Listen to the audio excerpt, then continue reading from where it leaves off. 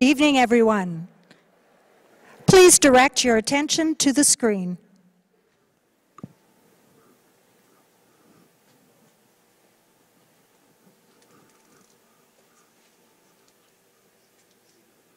We'll never own up to our past.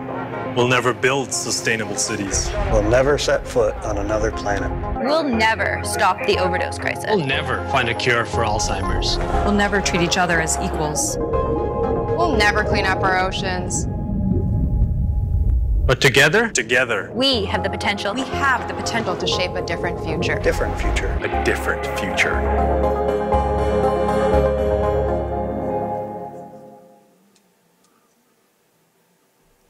Welcome to UBC Connects. For today's event, we'll be using a web-based platform called Slido. It lets you ask questions in real time. It works on any mobile device, so take out yours and follow along. We'll show you how to get started. Although we do want you to use your device, please make sure it's on silent as we don't want to interrupt the program. Now, once you've confirmed that your device is on silent, pull up your browser and go to slido.com.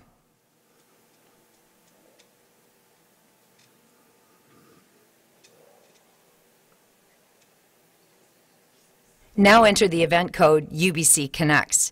You'll see the hashtag symbol is already populated. All you need to do is enter UBC Connects, all one word. Now you're all set to submit your questions by clicking on the Ask button. Other people can like your question by giving it a thumbs up. When we get to the question and answer part of the program, our moderator will ask the top rated questions first. You can start submitting questions, but they won't be visible until the moderator appears. At that point, you can start voting.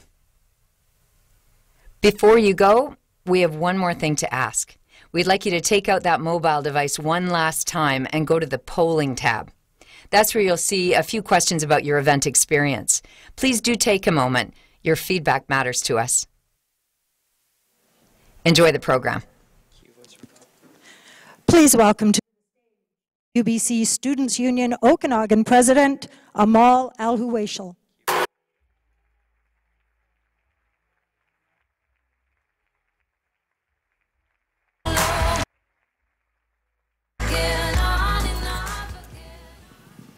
Good evening and welcome. My name is Amal Al Huwaishal and I'm the president of the UBC Okanagan Students Union. It is my great pleasure to welcome everyone here today, this evening. We are thrilled that so many of you have joined us tonight, in the room as well as online, for the first installment of UBC Connect series here in the Okanagan. In a few moments, Professor Ono will tell you more about the series. But first and foremost, we respectfully acknowledge the Syilx Okanagan Nation and their peoples, in whose territory we are gathered on today. Tonight, we will hear a presentation from Tarana Burke, and I, for one, am very thrilled. Earlier today, Tarana Burke have spoke on our UBCO campus, and I had the honor to MC and moderate the event. And my biggest takeaway from the event that to challenge rape culture, we need to speak and re-socialize our norms. We need to speak to the three-year-olds about sex and about consent. And as per for us, the adults, we just need to be on board with that. I was born and raised in Saudi Arabia. I was covered from head to toes since I was in third grade. And one of the reasons and the teachings of why you should be fully covered up in that part of the world and everywhere in the world is that you need to protect yourself from sexual violence. And yet, it still happens. This prevalence indicates that sexual violence is deeply rooted in systems of oppression and privilege. The Me Too movement have gained momentum, international momentum, in so many countries. However, in Saudi Arabia, the movement is not yet prevalent. Survivors there and across the world continue to be silenced. Today, we're gathering here to challenge that silence by engaging in a dialogue about sexual violence. Today, let us all be inspired let us all learn about our role towards a world free from sexual violence. Following Ms. Burke's presentation, the program will continue with a moderated in conversation and a Q&A with the audience.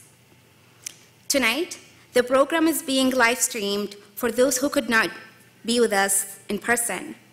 In the coming days, an audio podcast as well as some video clips will be posted on the event website at ubc.ca slash ubcconnects so you, are, you can revisit or share with the family and your friends.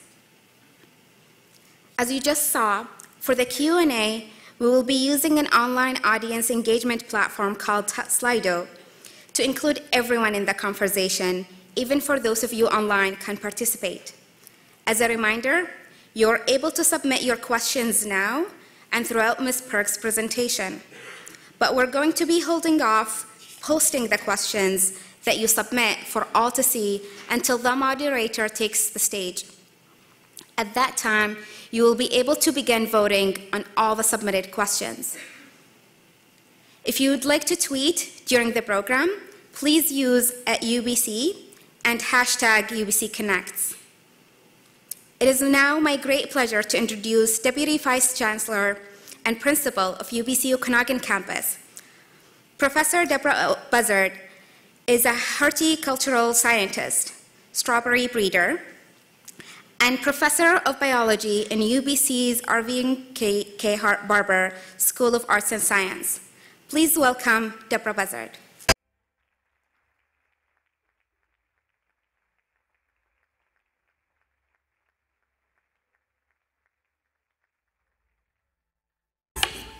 Thank you very much, Amal, and good evening, everybody. Uh, I have the amazing privilege of serving as the Deputy Vice Chancellor and Principal of UBC's extraordinary Okanagan campus. And I have the really distinct pleasure of welcoming you all to the very first event in the UBC Connects public lecture series to be presented here in the Okanagan. Occasions like this are a really important part of UBC's commitment to public dialogue. We have other special events, and you may know of them, like the Distinguished Speaker Series, the UBC Okanagan Annual Nobel Night, and UBC Dialogues, that help us fulfill our commitment to be both a place of learning and research, but also of engagement that advances a sustainable and just society. We are delighted at UBC Okanagan to be partnering with Amal and the UBC Students' Union to bring tonight's speaker, Ms. Tarana Burke, to Kelowna to address a topic that is of incredible importance to our students, to the university, to our community, and to me. Tarana Burke is a founding voice in the Me Too movement. She is a powerful advocate for survivors and an inspiring voice for all of us who dream of a world free from sexual violence, racism, and sexism. I'm really looking forward this evening to hearing her message of empowerment. All of us in this room who share Tarana's dream have a role to play in helping us as a society to actually get there and not just talk the talk, but walk the walk. I can't wait to hear about the tools that we can all use to help get there. Before I close, I need to say a few very important thank yous to individuals and organizations who've made this evening possible. First, thank you to our wonderful Students' Union, to Alumni UBC, to the UBC Equity and Inclusion Office, the UBC Sexual Violence Prevention and Response Office, and the many colleagues at UBC Okanagan and UBC's Vancouver campus who worked very hard to ensure that we could come here and enjoy our first UBC Connects in the Okanagan. Earlier, Amal noted that following Tarana's remarks, she will be joined by a moderator to help facilitate the question and answer portion of the evening. I'm very pleased to note that the moderator will be Professor Alison Conway, Alison is a distinguished professor of English and Gender and Women's Studies, holding appointments in our Faculty of Creative and Critical Studies and the Irving K. Barber School of Arts and Science at UBC Okanagan. She's a wonderful colleague, and I know you'll enjoy meeting her later in the program.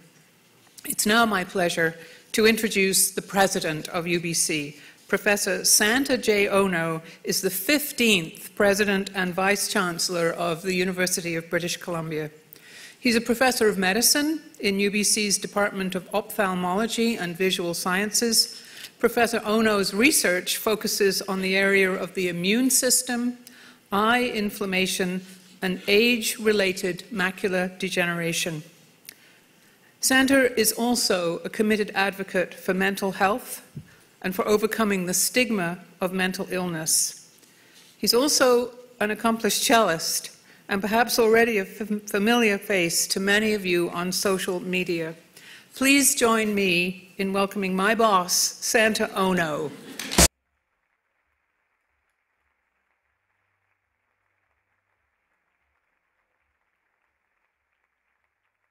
Well, thank you, Deborah. It's really wonderful to be here in the Okanagan. I'm excited to be here and welcome you to the very first UBC Connects uh, lecture in the Okanagan, and it will be one of many. I'd like to welcome all of those uh, who are actually joining us through live stream.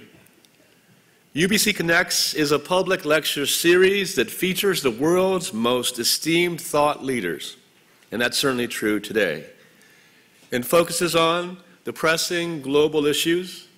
We've had some great uh, guest speakers already over the past year and the events have been immensely popular, often selling out within minutes. As Deborah mentioned, there are many partners who have helped make this event possible. First of all, I'd like to thank Deborah herself and the Office of the Deputy Vice Chancellor and Principal. And I also need to thank the UBC Student Union of Okanagan for their partnership on this event. I'd also like to recognize and thank our colleagues at the Alumni UBC for their support of this series. In the UBC Equity and Inclusion Office, the Sexual Violence Prevention and Response Office, UBC Okanagan, for their support of tonight's event. We are delighted that you have joined us for tonight's program, and we hope that you will continue to join us in subsequent uh, lectures. For more information on the UBC Connect series and future events and live streams, I encourage you to go to our website, ubc.ca backslash UBC Connects. Now, just a few words about our featured speaker. Tarana Burke is a civil rights activist who has dedicated more than 25 years of her life to social justice. In 2006, she began using the phrase, Me Too, to help young women of color who survived sexual abuse and assault. The phrase developed into a broader movement following the 2017 use of the hashtag MeToo as a hashtag on Twitter, becoming the now globally recognized phenomenon that continues to raise awareness about sexual harassment, abuse, and assault in societies around the world. The sexual assault survivor herself, Tarana Burke, is now working under the banner of the Me Too movement to assist other survivors and those who work to end sexual violence forever. Her continued work with the Me Too movement has earned her several honors. In 2017, Time magazine named Burke among a group of other prominent female activists dubbed the Silence Breakers as the Time Person of the Year. More recently, she was named the Root 100's most influential person of 2018 and received a 2018 Ridenhour Prize for Courage Award. And in November last year, she delivered a talk at TED Women, which has now been viewed over 1.1 million times. Tarana is currently Senior Director of Programs at the Brooklyn based Girls for Gender Equity program. Her upcoming book, Where the Light Enters, discusses the importance of the Me Too movement, as well as her personal journey from victim to survivor to thriver. It is our absolute pleasure to welcome Tarana Burke to the UBC Connect series. Let's give her a round of applause.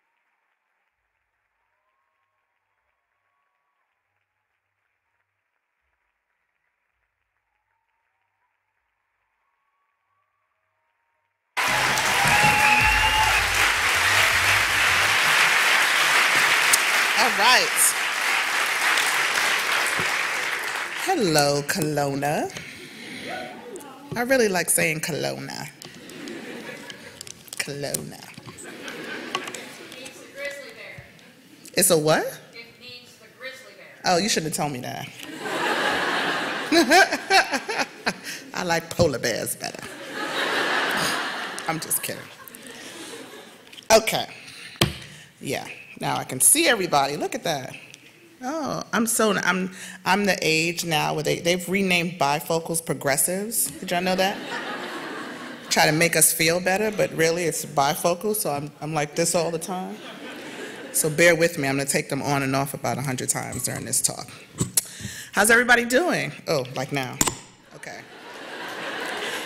The problem is when you look up suddenly, you can't see anything on the bottom. So I feel like I have to do like this all the time. Okay, I'm sorry. How you doing? Good, good, good. I've spent a lot of time in Canada lately, boy, but I haven't been to Kelowna, so this is a first. But I have been crisscrossing Canada and the United States and really around the world for the last year and a half, talking about the Me Too movement ever since its explosion. And I'm happy to do it because one, it beats when I used to have to pay people to let me talk about sexual violence.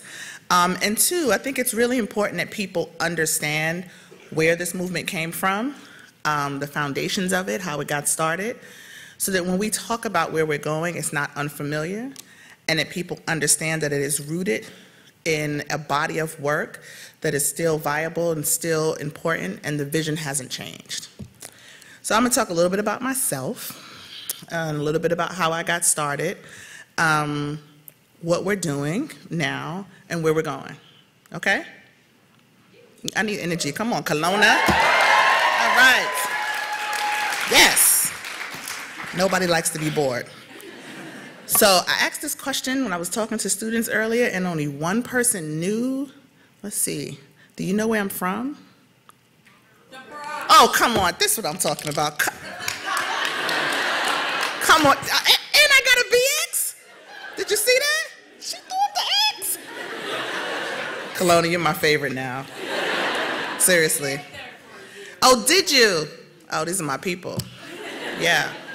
Well, I talk about the Bronx a lot because I love being from the Bronx. And, you know, between me, Cardi B, and Alexandria, we're trying to take over the world.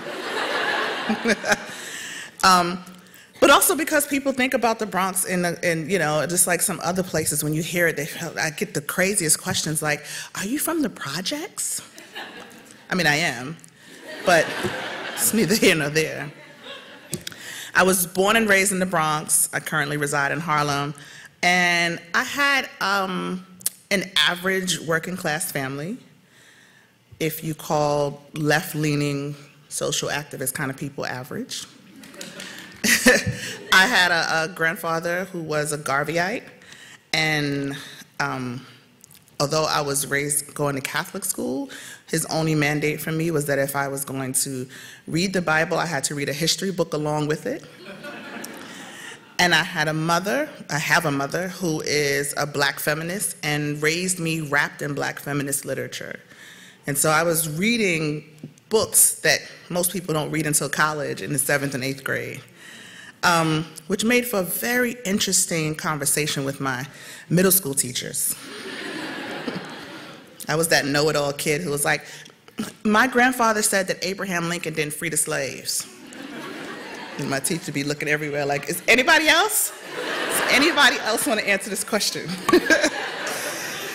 um, but that's who I was as a kid, and it was great, and it was great to have that information because what that upbringing did was help me to identify injustice when I saw it. I was able to call it out, I was able to name it when I saw it at a very early age. But the only problem was, although I had that information and I could name injustice, I didn't feel like I had the tools to do anything about it. I could just say, look, this is what I, I know what's happening to this person in this community. I see what's happening around me. But it wasn't until I, uh, about 14, I joined an organization called the 21st Century Youth Leadership Movement. And 21st Century um, was founded by veterans of the civil rights and labor and black power movements of the 60s and 70s. And really, those people just wanted to make sure that the next generation of young people carried on this rich legacy of work that they started. So they created 21st Century. I joined, and the underlying um, mission of the organization is to train young people to be grassroots community organizers. And so that's what I did. I became an organizer at 14, and it just so happened that in New York in the late 80s and the early 90s, we had a period of time very similar to what happened in the United States in 2012, 2013, 2014 following Trayvon Martin's murder and the onset of Black Lives Matter, we had uh, the murder of a young man named Yusef Hawkins. We had the Central Park Five case, which is the case that actually really politicized me. So the first thing I ever organized around was that case. And I threw myself into being an organizer. I loved it. I loved the idea that what the elders in my organization told me was that I had power now. That I would always grow and learn and add to it, but I had the power and the tools right now to make change around me. And that's what I was looking for. I wanted to do more than just read books and know history. I wanted to be active in doing something like the people I read about in the books. And so 21st Century helped shape, along with my family, helped shape my consciousness and helped shape who I was. And I really believed in the power of organizing and the power of community. I went to college and continued to do that work. I actually went to college in Alabama. And, well, you know, that's another story. Moving to Alabama from New York was more than a notion. But I went to college in Alabama, and it was very different from when I went to visit Alabama as a high school student because now I was on a major college campus that was predominantly white in the deep south and had no real um, race relations, if you will, happening on campus. And so again, I found myself organizing around issues of racial injustice and even economic injustice. But I had yet to come to the place where I could deal with the injustice that had happened to me. I didn't know what to do with it. I didn't even know what to call it. And so this thing that I was holding in my body, I decided to take that pain and pour it into something else. And I poured it into my work.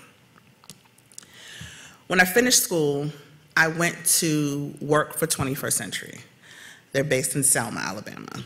And so people know Selma, obviously, from the history but in actuality, Selma, besides having this rich history, is just a small town in the South. And they have a lot of small town problems. And oftentimes we find out that small towns are really just microcosms of bigger places, right? Just concentrated in a smaller geographical location. So when I went to live in Selma, my job at 21st Century was running our leadership camp. So the leadership camp is the crux of the organization. It is the tool that we use to really get information to young people who are doing all kind of work in their local communities all year, but it's the one time in the summer we come together for 10 days and it's wonderful. Camps had changed my life growing up, so I was very excited to be camp director. Um, in the summer of 1996, I was, it was my second camp, year of running camp, and I met a young girl who publicly I call heaven. Um, and heaven was, you know, what's the word? A hellion. heaven was a handful. She was, I would get up in the morning, and you know, the kids have to get up at six o'clock in the morning because somebody somewhere said they're waking up early makes you a better leader. But the kids would get up really early in the morning, so that means I had to be up earlier than them, and I would walk across the campus, and I could, I would wait to hear where heaven was. I could hear somewhere she was yelling at somebody, or somebody was yelling at her, or there was some commotion, and I'd be like, oh, there she is. And I'd find her, and I'd bring her with me. And so she was with me a lot. I would, she was my little helper. You know, that's the universal adult strategy to make children feel special. but it works. And she was with me a lot, and I kept her close, and I gave her little assignments because there was something about her that I recognized that I wanted to nurture. And we had a great relationship. Every year at camp, though, we had these sessions that we called brother to brother and sister to sister. It was the 90s, we didn't really have a gender analysis. But it came later. But at this point, we just separated the boys and the girls and gave them space to talk about anything they wanted. It was really everybody's favorite time in camp. And when I was in camp, it was my favorite time. It was where the, you know, the kids, the girls would come together and they would ask all kind of questions. There was no judgment. They could ask anything they wanted to. And it was a way for us to build trust and connection with the young people. And although I love Sister to Sister every year, because there was so much trust and because there was so much comfortability with between us and the young people, every year after the questions about boyfriends and the questions about friends and fashion and what have you, at some point there would always be a turn because the girls would start disclosing their experiences with sexual violence. It happened like clockwork every year. And by this time, we were fully prepared for it. We had counselors on site. We were, you know, we had gone through some sort of training. But I was never, ever really prepared. In fact, even when I was a camper, I never talked about it. Because the other thing my family is is Caribbean. And um, I think at everybody, every Caribbean household, the number one family rule is our business is our business. And so it just seemed un, realistic that I would talk to people, any people, even if I trusted them about this thing that I had been holding. So I never told. This particular year during um, Sister to Sister, Heaven was in the room. It was her first time because it was her first camp. And I remember watching her struggle. And I recognized she was struggling because I recognized myself because that's how I was in that room when I was that age. And I, rec- I watched her try to figure out if she should say something. I watched her shift in her seat uncomfortably. I watched her looking to see where she can insert herself in the conversation and change her mind. So she never said anything that night. The next day, she makes a beeline for me. She's like, Miss T, I need to talk to you. And I knew it was coming. I was super clear about what was happening and I wanted no part of it. I was 21, 22. I was 22 maybe, or maybe I was gonna turn 22. I was a baby. I know some of the students out here who are 21 resent that, but you see these people laughing? You'll figure it out. And so I felt unprepared in fact, I had not really dealt with my own stuff. And so when this child came to me and finally cornered me and said, I have to talk to you, insisted on talking to me because I had presented myself to her as somebody she could trust. I had presented myself to her as somebody who cared for her deeply and wanted to protect her. And so she rightfully came to me and said, I need to give this to you except it was a misrepresentation on a small level because although I felt for her emotionally, I was not prepared for what she had to say. I wasn't prepared for what she had to say because what she had to say ran right up against what I could not say. And so she starts just pouring her heart out about all these things that happened to her at the hands of her mother's boyfriend, who she called her stepfather. And I listened, and I don't know how long it was. In my mind, it feels like, you know, 20 minutes, but it probably was just five before I cut her off. And I said, I can't help you. I was standing there listening to her, thinking in myself intellectually, I don't know what to say. I'm not a counselor or a social worker or a therapist. I don't want to say the wrong thing, and I don't know what to say. But the thing that was on my heart to say was, This happened to me too. I had never said that to anybody. Not in a way that didn't imply that I was complicit in my own abuse. But the face that I was looking at, this small face that I was looking at, made me realize that this is what I looked like when it happened to me. And I don't want to do anything but protect this small child in the ways that nobody protected me. And I felt so bad that I could not even leave her with the one thing nobody ever gave to me, which is the comfort in knowing that I wasn't alone. Because this happened to me too. And so I didn't say it. And up until very recently, really until Me Too went viral, I carried that story as my greatest shame. It was my greatest failure, I should say, not necessarily shame. But it felt like a failure. It felt like the big thing I did to fail a young person. And I remember when people started, you know, it's funny when, of course, I wasn't prepared for Me Too to go viral um, and for people to like want to know about my life. So when reporters first started asking me about it, and they would say, "Tell us about Heaven," and I was like, felt like somebody had read my journal, right? Because it was on our website, and I forgot. It's like the website was old, right? I just didn't visit it that much, and there was a portion of the website that was like, "This is the inception." And, um, and I forgot. And so I remember the first reporter who asked me that, I burst into tears um, more than one time because it's a hard story. And so the funny thing is, one of my kids, because you know, if you work with young people, particularly in the community, you should know that these kids don't ever leave. They don't ever leave. I have grown women nowadays. I can be walking through a supermarket like, Miss T! I'm like, it's one of my kids.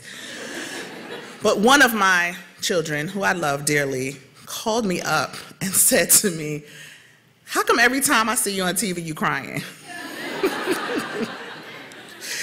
she said, You always talking about this Heaven. I don't even know who that is. And you crying over her. And she just was going on and on. And this is a 34 year old woman. Let's just, let's just say that.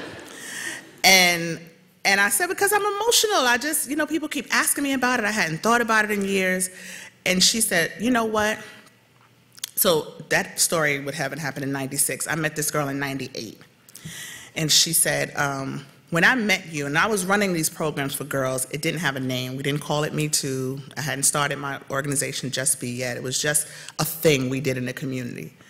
And she was a part of that. And she said, when I met you, we called it the circle. And she said, and I was in the circle, you were the second person I ever told what happened to me. But you were the first person to believe me. And just the idea that you believed me changed my life which is also why I can't get rid of him. and so, when we started doing this work, officially, when we started doing work around Me Too and sexual violence, it was really to fill a void. There was a, a deficit in our community. Some years after that, just a few years after that, I started an official organization, not around sexual violence, but about girls in leadership. And the same thing happened that happened when I, we had created the same space with Heaven. You create safety for young people in particular, and they start to disclose. But this time it was a little bit different. These young people who were disclosing in our community, in school, we were in a junior high school. Sometimes they would come and say, you know, this thing happened to me, um, I want to talk about it. But other times they were just talking about their lives. And what we recognized was the violence in their lives. I had a student one day who I was, um, you know, it was after school and she was waiting outside for her ride. And I just happened to come outside because I happened to be at the school late. And I said, Why are you here? And she said, Oh, I'm waiting for my boyfriend to pick me up. Was in seventh grade. So I imagine some scrawny little kid rolling up on a bicycle, you know, telling her to hop on. Imagine my surprise when the 21 year old man drove up in his car. Funny thing is, I knew who he was because just the year prior, I had chased him away from the hotel where our teenage, our high school girls had a sleepover. So now we're talking about a predatory person, right? So he gets out the car. Well, he doesn't get out the car yet. And I said, who is, who is the, are you talking about this person? And she said, uh, yes, that's my boyfriend. And I said, you wait here. Listen. Allegedly. but I did have a conversation with that young man um, and reminded him this is a small town and I knew where he lived. but chasing him away really wasn't the issue, right? Because I could threaten him within an inch of his life because I did know where he lived. I could tell him that I would call the cops. I could, you know, give him all kinds of threats to make him know that he can't mess with this child. That really wasn't the problem. The problem that I had was the next day. The next day, I had to deal with a very angry seventh grader who was mad at me for breaking up her relationship. And then I had to figure out what language I could use to explain to this child that this is not a relationship, this is a crime. And the reason why it was difficult is because nobody had ever said it. The problem that we saw in this community, and it's the same problem that so many of us have right now, is that people did not have language to describe what was happening to them.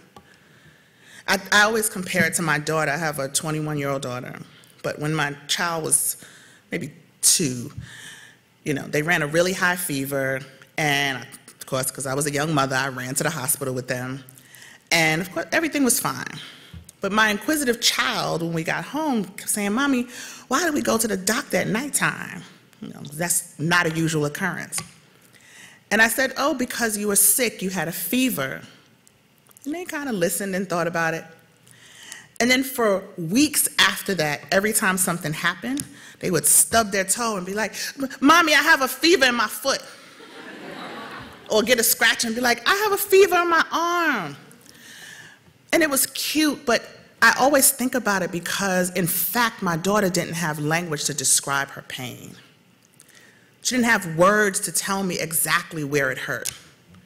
And that's what was happening with the young people in our program. Not only did they not have language, they didn't have an environment where you could even talk about this. It wasn't normalized. People often wonder why Me Too spread like wildfire. But it spread like wildfire because people were peeking out and saying, wait, I can talk about this?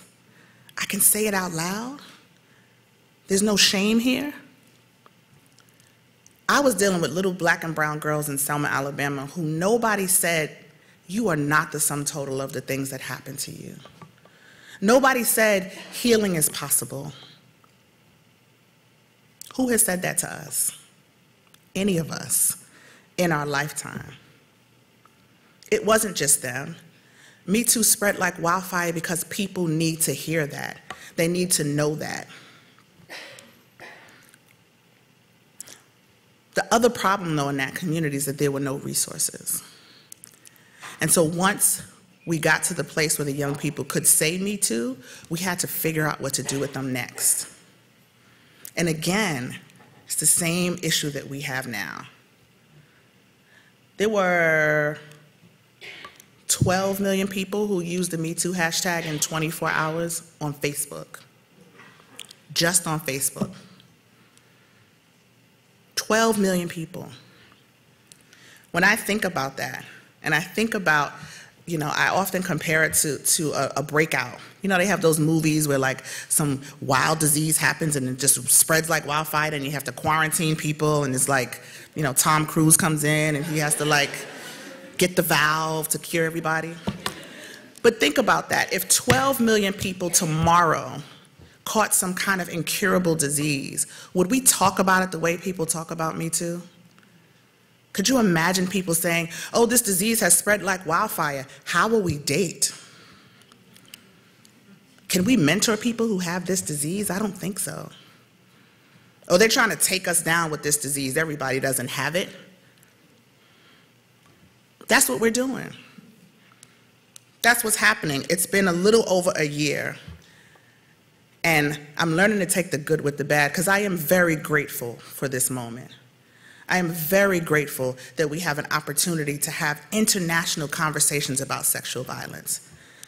And I meant what I said. I, I have literally paid people to put me on the agenda in, in this lifetime. I've gone to places and begged them to say, can we, can we add a little bit, a little portion here about sexual violence? Nobody wanted to talk about this.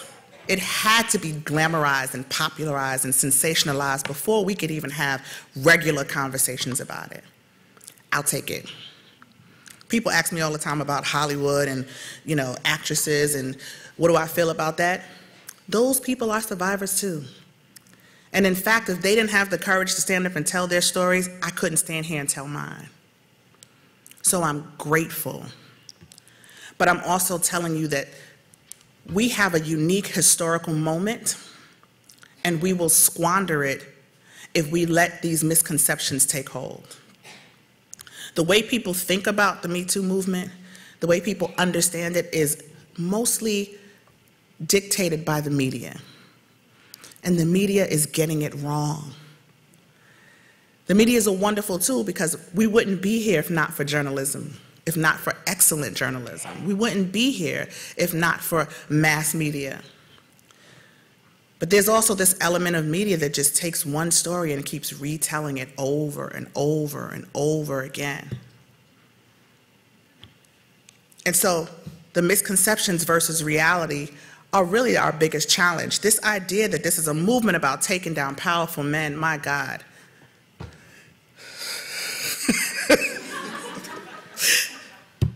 irritates me. And it irritate, it should irritate men, honestly. It should irritate everybody, but men, you should be irritated at, the, at a couple of things. You should be irritated, one, that people think that you have such a lack of self-control and such a, a, a, short grasp on, on, on, on basic decency and humanity that you can't function in the era of Me Too. It's ridiculous.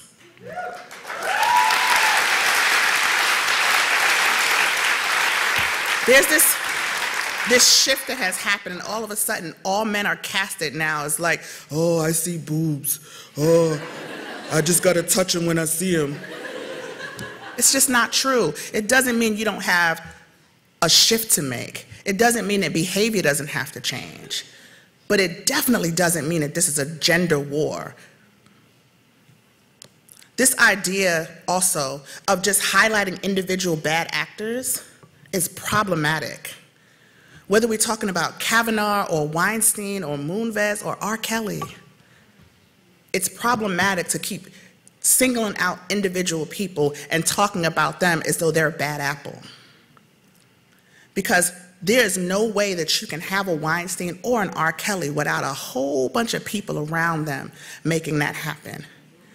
And really, you get to be a Weinstein or R. Kelly and operate the way that they did because there are people who are more invested in the bottom line than they are in human dignity.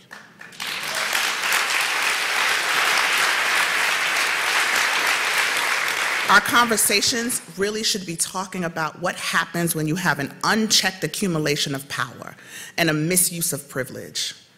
These are the same things that happen that allow racism to happen, economic injustice to happen. When people have unchecked accumulations of power and they misuse their privilege, it's never good. So we have to reimagine and rethink what privilege looks like and what we do with it and how power is shared. We have to put systems in place to not let people, we are so obsessed. Let me tell you something, this is kind of an aside. Obviously, you know the, the, the Michael Jackson documentary has come out about uh, leaving Neverland. Regardless of where you fall on the spectrum of believing or not believing, what I have witnessed in the last month of the people who support Michael Jackson is disgusting. And it's mostly disgusting because no human being should be above reproach. So these people, you may not believe Michael Jackson's a molester, that's fine. But the death threats and the vitriol and the, the people who are just like, will, will die on this hill, people who never stepped foot in Neverland, never met that man, will die on this hill because he's a pop star. It's a problem. It's a problem. So, this little thing is going to run out in a minute, so let me get to the good part. Um, Me Too is a global community of survivors committed to healing and action. I want you to take that line with you. We are a global community of survivors committed to healing and action. Anything outside of that is a distraction. It's distracting you from that bottom line. And our work centers survivors, especially the most marginalized amongst us, including queer and trans folks. Excuse me. You can clap at that. Our work is about guiding people towards individual healing resources, and our work is to interrupt sexual violence through community action and community healing. Now, I talk about healing a lot. Um, individual healing is not something that anybody can tell you, right? I can't tell you individually what you need to heal. What I can tell you is healing is possible and it's lifelong, it's ongoing, it ebbs and flows. I can give you all kinds of information about what healing could look like. I can help connect you to resources, which is what we're trying to do. Any number of resources. But individual healing is your personal journey. Community healing is very different. Community healing is the things that we define together as a community. It's very concrete. We're talking about laws and policies and culture and practices. We get to define that together. This is a community. I know that, how many people are students here? Raise your hand if you're a student. Okay, it's a good amount of students. So I'm just gonna, okay. We, we always learning, aren't we? but whether you're a student or not, you deserve safety and you deserve protection. And that should happen in your community and that should be defined by the people in your community. And if you're on a campus or not on a campus, there should be an inherent commitment to making that happen. When I looked up um, information about British Columbia, because I've never been here, this is what I found. Now I gotta put the glasses back on. This is mostly gendered because the information was mostly gendered. It was a lot about violence and women, so I'm sorry I don't have information about men or trans folks or non-binary people. Um, but it says here, over half of women in British Columbia have experienced physical or sexual violence by the age of 16, and that's more than 1 million people in the province. Every year in British Columbia, there's over 60,000 physical or sexual assaults against women. Almost all of them are committed by men. In British Columbia, there are one, over 1,000 physical or sexual assaults against women every week. Over 60% of British Columbians personally know at least one woman who has been sexually or physically assaulted.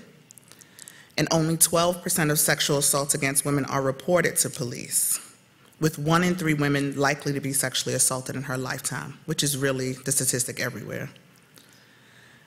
But here's the other one that sat with me about indigenous women. The exact number of indigenous women and girls who have gone missing or have been murdered in Canada since the 70s is uncertain, with estimates ranging from approximately 1,000 to nearly 4,000. But we know better because it's probably double that. In response to activists, the Canadian government funded data collection on missing and murdered women that ended in 2010. The Native Women's Association of Canada, Canada had documented 582 cases since the 1960s, with 39% occurring after 2000. But of course, advocacy groups say that more, that many more women have been missing, with the highest number of cases in British Columbia. A community is only as safe as its most marginalized person.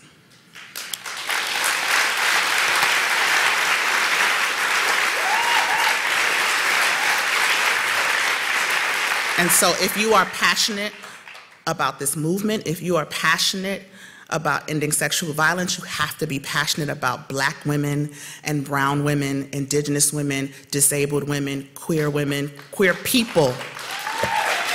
I'm sorry, I should have said people in all of those instances. So what's next? I think I'm gonna save the what's next till we sitting down because I really am like probably 15 minutes over, but I'm gonna end by saying this. There is no silver bullet. Yes, the hashtag was amazing. The hashtag galvanized people and the hashtag got us here, but a hashtag is not a movement. There's no silver bullet. There's no one hashtag. There's no one person that is going to end sexual violence or save us all. It really is going to take everybody doing what they can at capacity to just move the needle. So, what I'm asking you is don't be distracted by the media. There's noise, there's a lot of noise in the media. Pick the good stuff, leave the rest alone. Don't be distracted by the noise in the media. Don't let other people tell you who and what this work is for. I get letters from people every day who said, I want to be a part of the Me Too movement, but I feel left out. And my answer to you is that you cannot be left out. You will elect yourself out, but it's yours if we say it's yours. If you say it's yours, it's yours. If you say, I'm a part of the Me Too movement, I'm bringing this group of people in, I represent this group of people, it's yours. Nobody is isolated. Nobody is left out. Yes, I talk about centering black and brown people. Yes, I talk about centering the most marginalized, but it's not to the exclusion of anybody. In fact, we should want the most marginalized to get first because it ensures that everybody gets what they need. Nobody will be left out.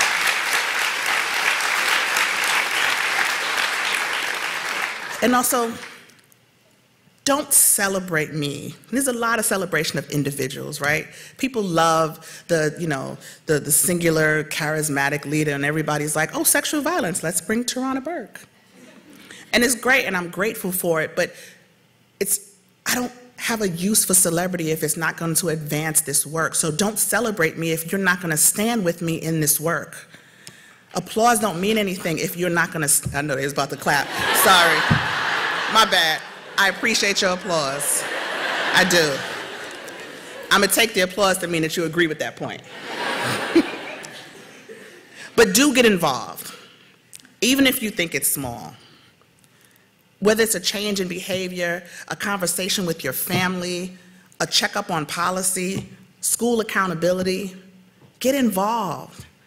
I ask people all the time, do you know the sexual harassment policy at your job? You know it exists because folks have to have, is that a, that's a law here in Canada, right? Okay, good. I figured y'all are better than us, so. but people know that the sexual harassment policy exists, but how many of you know what it says? You know what doing the work looks like? It looks like getting a cup of coffee or a bottle of wine or whatever it is, and sitting down with a group of folks, print out that policy and read it back and front. And then compare it with your lived experience in that place.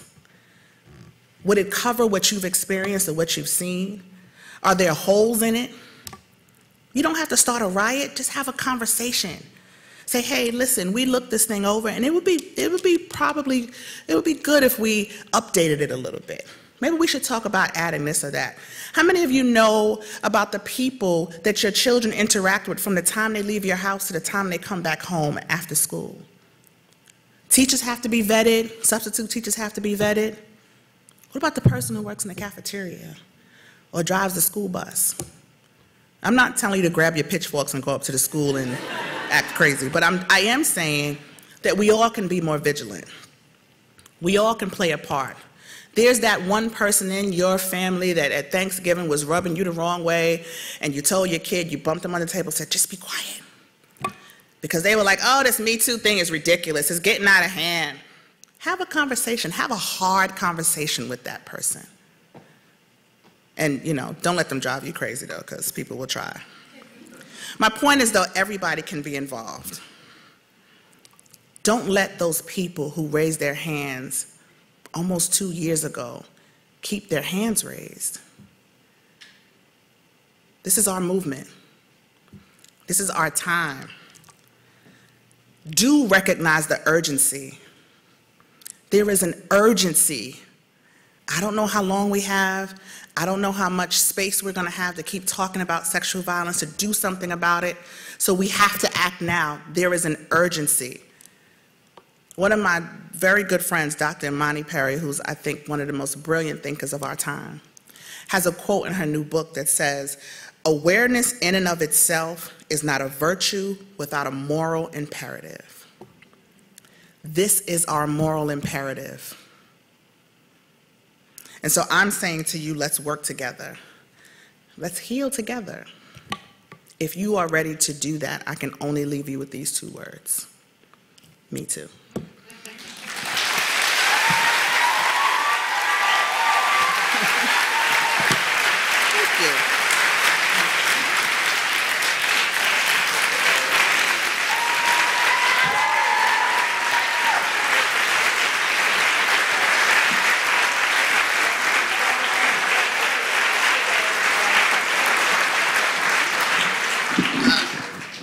Ooh, I was waiting to get to this seat.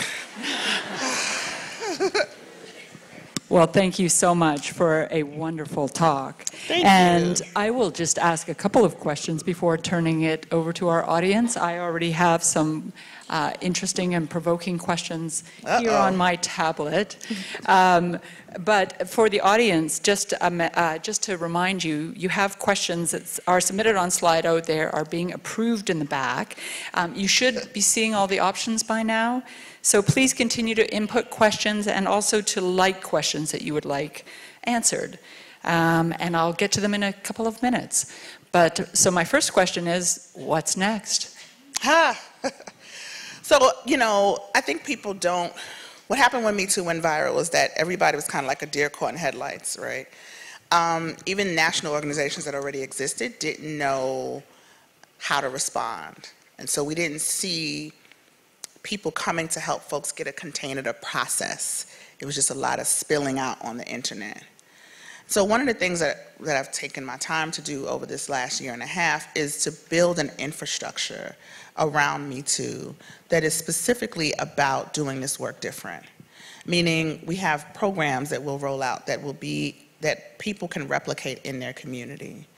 Um, we are really, really promoting survivor leadership. So within our organization and also in the work that we're doing in the community, we have survivor leadership training, um, and we also have community healing circles that can be replicated. It's, I, I hate, it's, the, the, the closest comparison I have is kind of like AA. You know, people can be trained and then and start those programs in their community. Um, we're also building what I am just claiming to be uh, now the world's largest database of resources for survivors. And there's a, there's a lot of information for survivors on the internet, but it's all over the place. And a lot of it is very traditional, if you will. And so if you are not a person who will go to a rape crisis center, for instance, but you would go and do Reiki or take a yoga class, or there's, there's, there's literally, this is not an exaggeration, there's literally a knitting motorcycle club of survivors in Ohio in the States. right? But that it speaks to the fact that people need different things. And so we want to, we are like scraping the internet and going out and doing surveys in public to get, in person rather, to get that information and, and put it in one place so that people can figure out what, help people figure out what they need. Um, the other thing is helping people, like I can, I can make a call to action very easily and rouse people to their feet and get them excited, but what happens afterward, I, I, I used to say all the time in my talks, um, you know, look for the gaps. Go in your community and look for the gaps in your community. Look and see what's missing. I stopped saying that because a woman said to me once after, she came up to me and she was very excited and she said, I want to look for the gaps. I hear you. I'm ready to get started. I don't know what to do. I don't know where to start. I've never done this before. And I thought, you know, I'm operating from my own bubble. This is second nature to me. And so now we're creating in partnership with some Canadians, actually. It's a group from out of Toronto. We, um, I'm so, I'm such an American, right? some Canadians. Sorry, I can't help it. Um, but yeah, we're creating a tool to help people figure out what action looks like and how to get active in their communities. So this we're an organization, and I think people don't understand that. I, when when Times Up formed, a lot of folks thought that was the answer to Me Too, and it's not. It is a separate organization that has a separate agenda and a separate vision, even. And so it's taken some time to help people understand that we are an organization and we are trying to set the narrative and the vision, you know, forward for the organization, for the work. Thank you. Well, um, as a reader, I have to go back to the beginning of your talk and ask you, because you were raised, you said, by a mother who, who taught you the, the canon of black feminist literature. Yes. So could you name some of the influential texts? Oh my gosh, yes. I was, listen, I was reading Toni Morrison and Toni Cade Bambara mm-hmm. and Audre Lorde, and not too much Bell Hooks. I probably read her a little bit later, but definitely Maya Angelou and Alice Walker mm-hmm. and those people when I was very young. Mm-hmm. My mother was taught by Audre Lorde, and so she had a, a very close connection to her, and so mm-hmm. we talked about that. We, we, I, I had memorized, oh, and Ntozake Shange, which is who later became like a mentor to me. But I had memorized the whole For Color Girls book and really the album mm-hmm. by the time I was like 13. I didn't even know what I was talking about. I was just, so, but it did shape who I am, mm-hmm. very much so. In fact, I, I ran a, a literary organization that essentially honored these women um, when I grew up. Well, I'm teaching Toni Morrison's Paradise this week, so Oh, uh, everything you were speaking to resonated uh, v- powerfully, and I know my students will, will make the connections tomorrow. Um, so let's go to the audience question, and the first question um, the audience would like to ask you is, have you had any backlash from the White House since your February 28th interview on Yahoo Finance in which you called Trump a self-admitted predator? Oh, that wasn't the first time. no, it wasn't, no. I mean, you know what's funny? You know, I have people now, right? I have like people who advise me about things to say in the media, even though I never, well, I do listen sometimes, right? Because, and they're like, well, be careful. And it wasn't even like they try to, to they try to edit me, but um, you know, Trump supporters are just really rabid.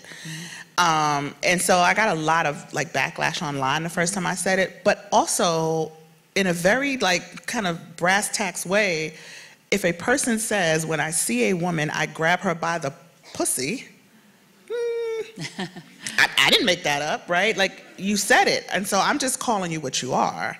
You, that's that's there's a law. Like you you run the country, you should know the laws. like it's not just like oh we frown upon that. No, that's actually a crime, right? So you are self-admitted, and you and he said it, he does it to multiple people, which then makes you a predator. That's also just like that's like science. Yeah, but I got some backlash, but not from the White House directly. I um, last year, I was invited to the State of the Union actually, but I declined. Um, I was invited by a Democrat, but I declined just because I couldn't sit in that room. And I said I would go if they let me dress in all black and wear a veil over my face. and then they said, no, we can't do that. So. So our next question is, what would you say to white women about supporting women of color in movements such as these? You know what? I think that the best example for what white women can do in this moment is Alyssa Milano. Um, Alyssa Milano gets a lot of flack still, which I think because people just don't listen to me when I try to say this, and I, I get it. You know, there's a lot of tension over the years, rightfully so, between white women and black women, particularly around support in, in movements um, and in feminism. But what Alyssa did when she put out the tweet, she didn't know about me. Um, it wasn't an intentional try, you know, attempt to like discredit me or take something from me. And when she found out, within 24 hours, she one corrected herself, which is like on the record, even though people don't believe me. like she put out a tweet, she apologized. She actually, this is how people found out about Heaven because she took that link from my website and tweeted it out. Thank you, Alyssa. And um, she did that, and then she contacted me and said, "How can I help?" I didn't. She apologized and said, "I didn't know. I'm sorry. How can I help?" Um, within four days, three, three or four days of Me Too going viral, we were on national television together, and even then, they like pre-recorded me in the corner. I was just like a little blip in the corner, and they had her live. And so she said on national television, "We wouldn't be here if not for the work of Tarana Burke." And so I use her as an example often because what white women can do to support women of color in this moment is to pass the mic. Mm-hmm. When you get it, you should not be speaking for us, you should be helping to amplify us, mm-hmm. right? Around our issues. I mean, mm-hmm. so that's the best thing you can do. There are there are wonderful examples of what allyship looks like in this moment. Um, and, and you should look to those examples. We can speak for ourselves, but a lot of times people, even when white, white women mean well, other people elevate them. It's, it's kind of like the thing with Hollywood, right? People mm-hmm. want there to be a conflict between me and the women in Hollywood. Those women go out of their way, really. They go out of their way to say, Tarana, here, you know, to bring me into spaces where I would not be. But what happens is the media keeps saying, like, listen, I was sitting still, minding my business. And even after Me Too went viral, I started getting, like, I was getting press, but I was like on Democracy Now!, which is like, yeah, Democracy Now! comes up here? Mm-hmm. Yeah, like, every left-wing person in the world watches Democracy Now! That's like, like a new audience, right? of course I could go on Democracy Now!, but, but it was, it was the, um, these actresses who were pulling me into these other spaces and and trying to get the story right. But the media was kind of like, uh, let's see, black woman, 44 years old from the Bronx. Do we have anybody else? and there was not. There was literally just not people in the moment who can contextualize what was happening or or or or add context to it to help people understand why they were saying me too about empathy and about these different things. So it just it happened because of these, um, this wonderful allyship. So these are examples of what white women can do. And this is what I tell white women, pass the microphone. So have you reconnected with Heaven after the Me Too movement took off? And are they aware of the impact they had on your life and in starting the movement? No. I am on a, so uh, I'm still very connected to the people in mm-hmm. Selma. It's like my other family. And so I had a conversation last year, actually, it's almost been a year, when I was visiting about helping me to find her. Mm-hmm. And what we, what we figured out is that she probably was the family member of another one of our campers.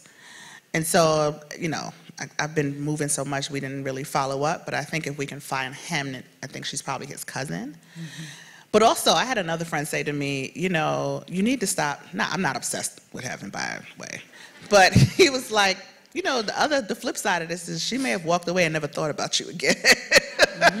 Meanwhile, I'm like, oh my God, I ruined her life. And, you know, she's like 35 right now. And I just hope that she has, um, I hope that she got what she needed, even though I couldn't give it to her in that moment. Because there is something that happens when you open up. Mm-hmm.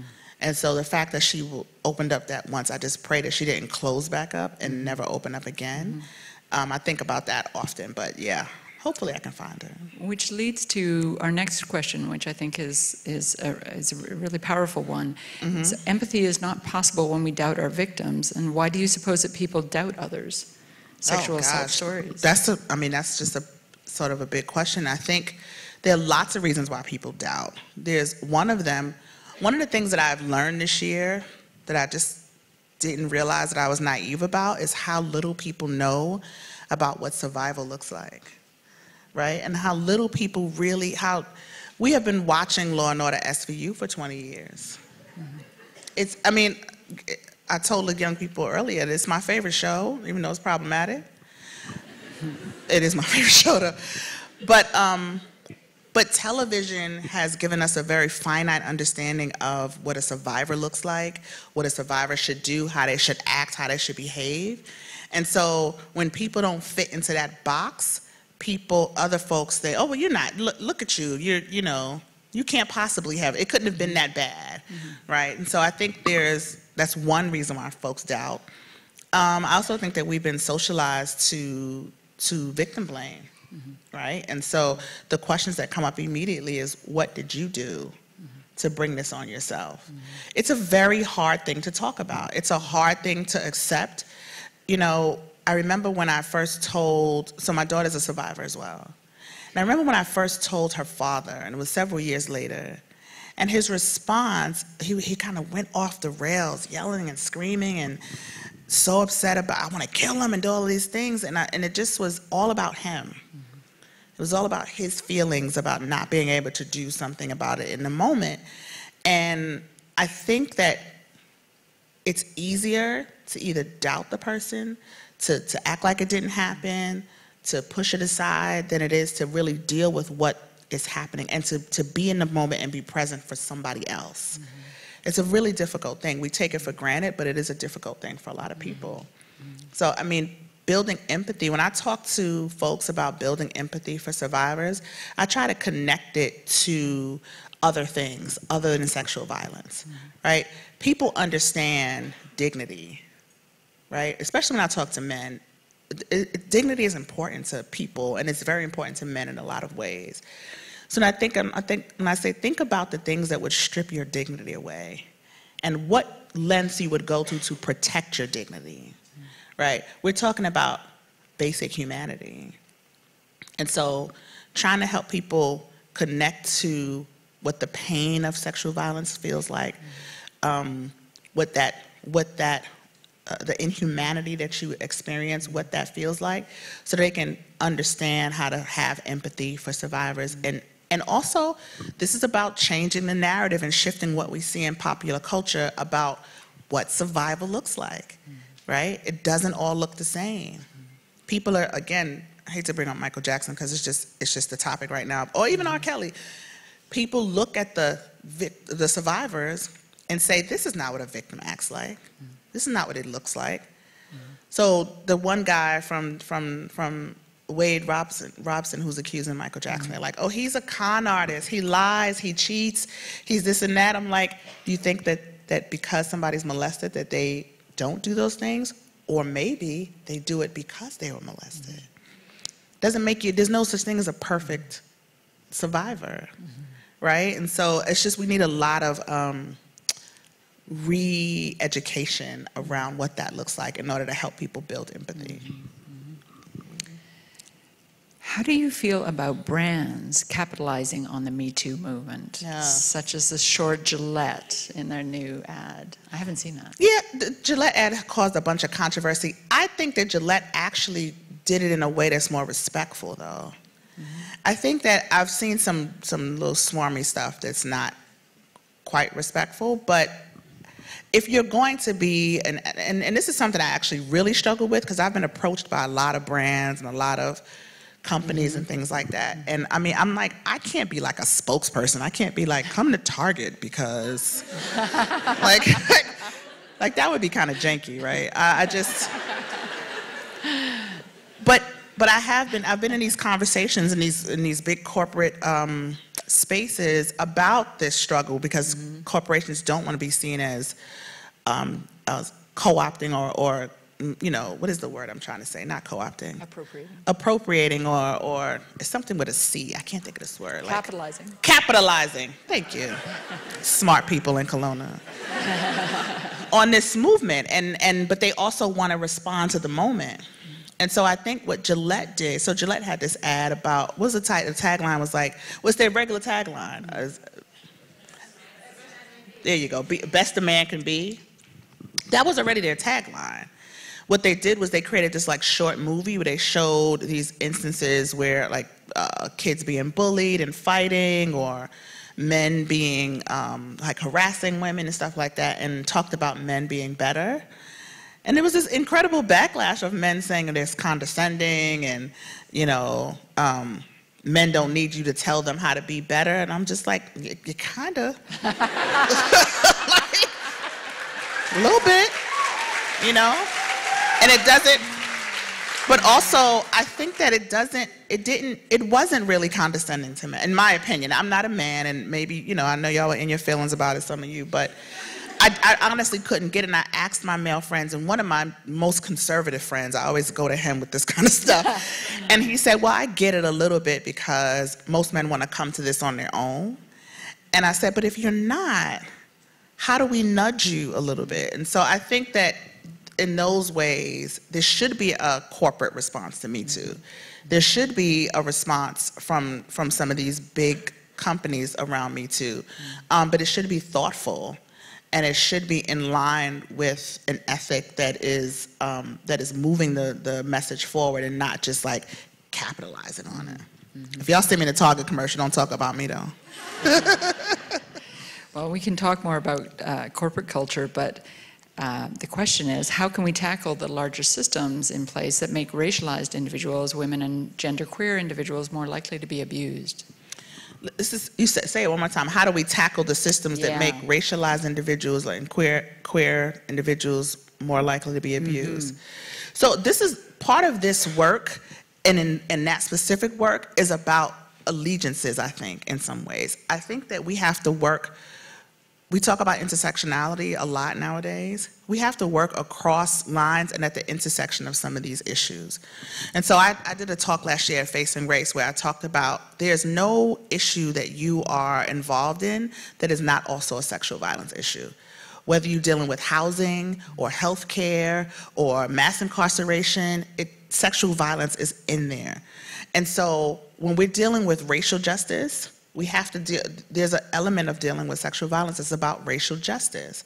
And so again, when I, when, when I deal with um, setting up with the, the framework for Me Too, the reason why I talk about centering those people is so that people start thinking and understanding that, you know, there's an old saying, and they say, I don't know if this, they say it in America. I'm gonna stop doing it. I'm sorry. Um, that you know, if, if white folks get a cold, uh, then black folks get the flu. Have you ever heard that? You ever heard that? Okay, well, good. I got one on you. but essentially, it's like it's it's kind of like what I was saying about the missing murdered um, Indigenous women in my talk. That if it's if it's if the statistic for white women is you know 22%, it's going to be 44% for other folks, and having to keep that at the forefront, keep bringing that information, keep bringing those people, keep bringing that issue to the forefront, and letting people understand that these, these issues are not just singular. Mm-hmm. That we, when we talk about ending sexual violence, sexual violence, I say this all the time, it doesn't discriminate. Mm-hmm. There's no, there's no demographic you can name that is not touched by sexual violence. But the response to it, the response to it is what we have to dig into, mm-hmm. right? And so the response to it is why it only took two articles to bring down a Harvey Weinstein, and it took 20 years, seven exposés, an international movement, and a six-hour documentary to get people to talk about R. Kelly. Mm-hmm. Right? That's the difference that we're talking about, and we have to keep bringing that to the forefront. Mm-hmm.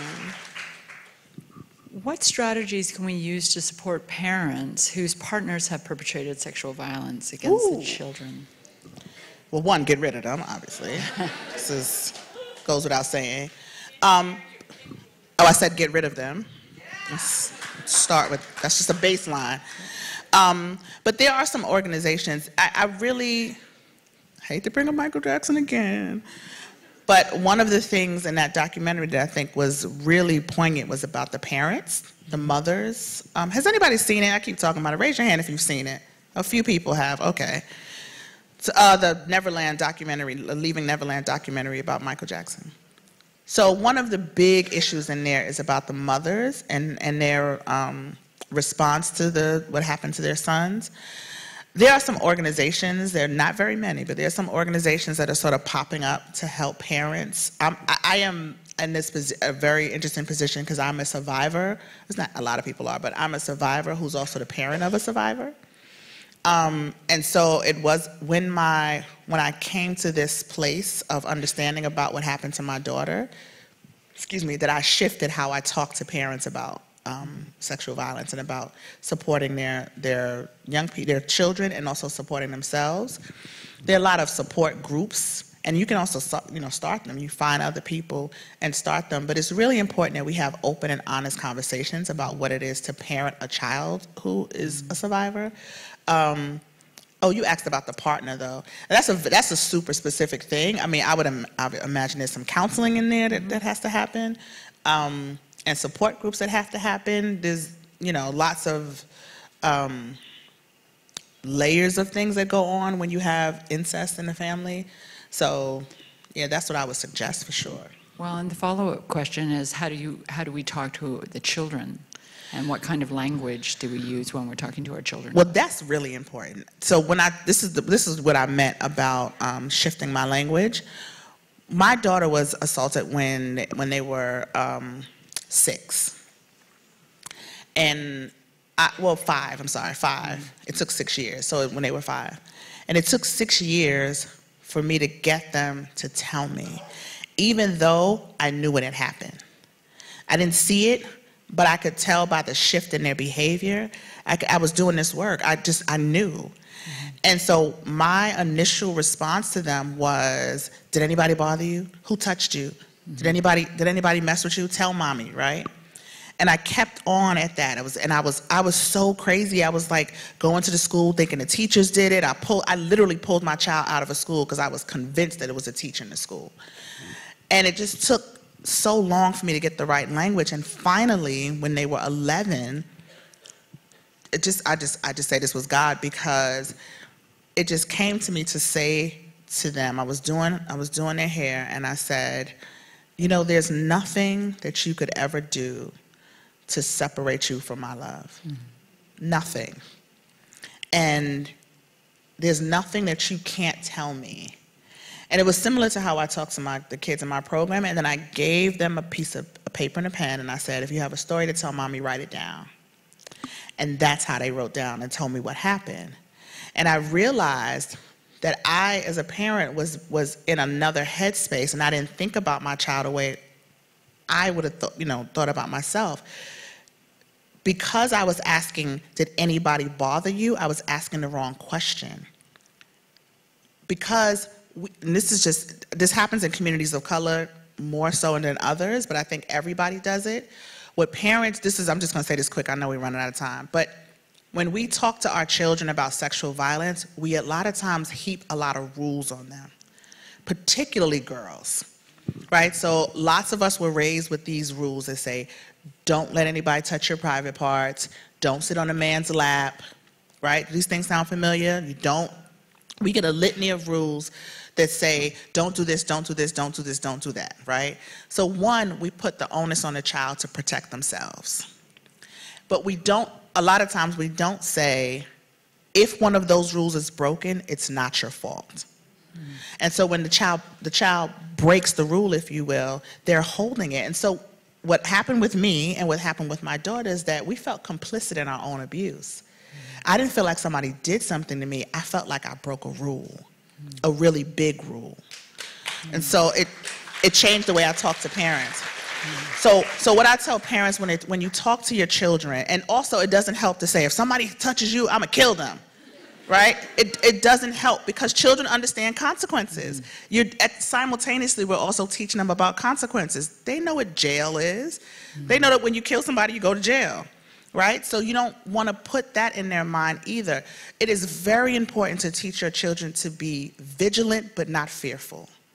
Mm-hmm. So when you talk to your children, you should talk to them about what vigilance looks like, about being aware of their surroundings, about, you know, good and bad touch, all of the things that we know. But they have to be able to walk through life feeling free mm-hmm.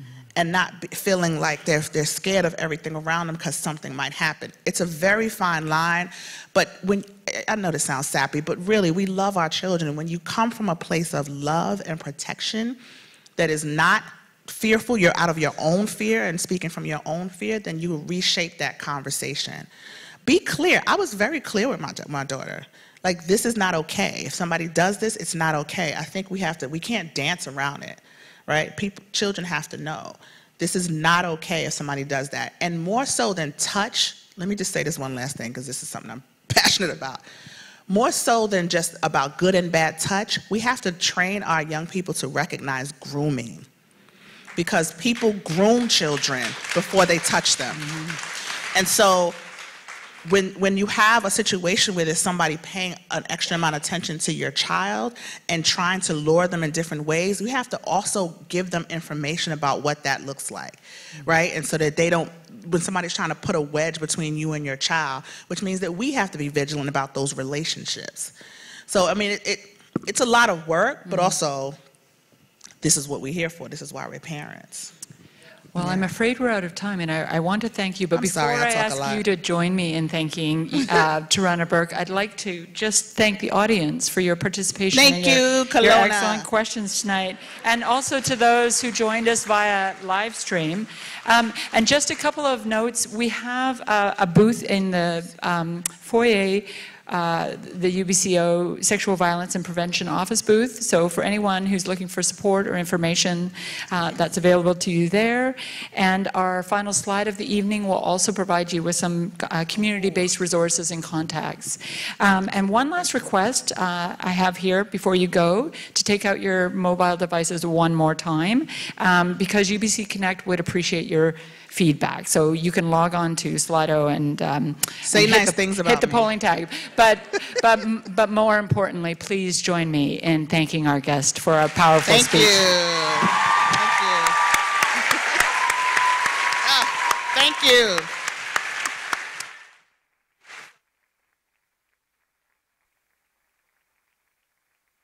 I ain't gonna break